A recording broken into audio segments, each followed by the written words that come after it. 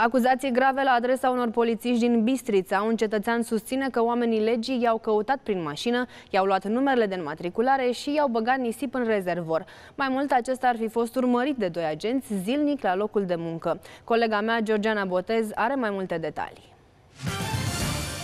Bun găsit, bărbatul în vârstă de 40 de ani susține că a parcat mașina de serviciu pe o stradă din prundul Bârgăului, iar când s-a întors, numerele de înmatriculare lipseau, iar în preajma capacului de la rezervor avea urme de nisip.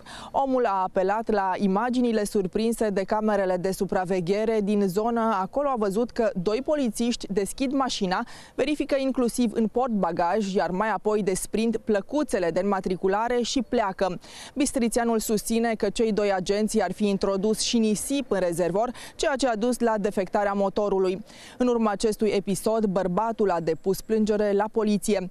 Pe de altă parte, reprezentanții Inspectoratului de Poliție din județul Bistrița susțin că șoferul nu a oprit la semnalele polițiștilor, a fost urmărit în trafic, a abandonat mașina și a fugit, iar gestul făcut de oamenii legii, acela de a verifica autoturismul, era unul normal.